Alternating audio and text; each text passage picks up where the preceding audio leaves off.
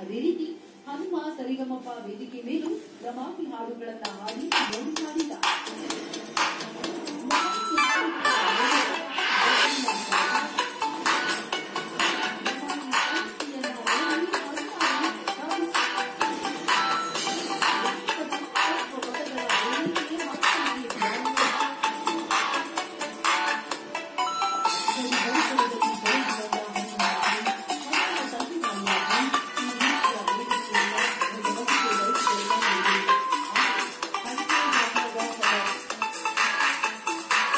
ಮಾಡಿದ